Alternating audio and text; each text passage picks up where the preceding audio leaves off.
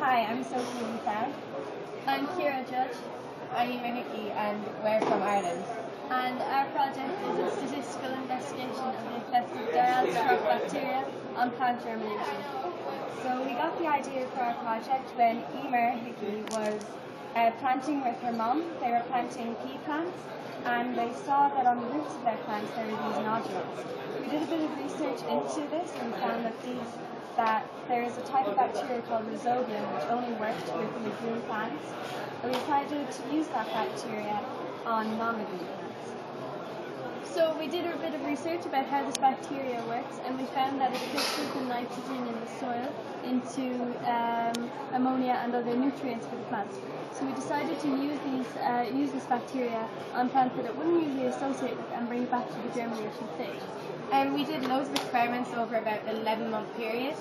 Uh, we tested nearly 10,000 seeds and took um, over 120,000 manual readings.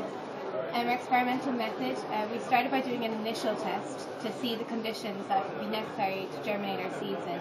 And we found that dark conditions were better than the light. We did some germination experiments where we found we, um, we inoculated our seeds with the bacteria that we were using and we also used water as a control. And we found these results that the blue line here, if you can see, is water, and these are statistical tests that we analysed to check our data. And we found that in some cases we could actually decrease the germination time by 50%, which is quite a substantial decrease. So we want to find out how this is happening. So we looked into alpha amylase and the maltose levels in these seeds.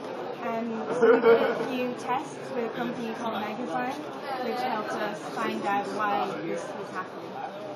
Um, we then moved on to growing off our seeds to see what if they would affect the seeds when they were grown.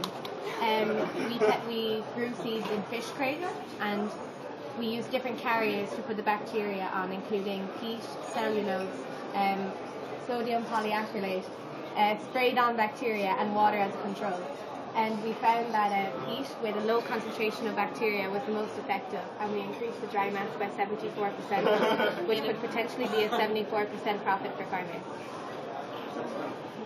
So in conclusion, the results that we got from this project would be really beneficial to the agricultural and some industrial um, companies. So um, we, it's a potential 74 increase in the income for farmers and also uh, seeds that germinate faster are less likely to rot. So this can benefit in third world countries where the ground is very dry or else in places where the soil is very um, damp.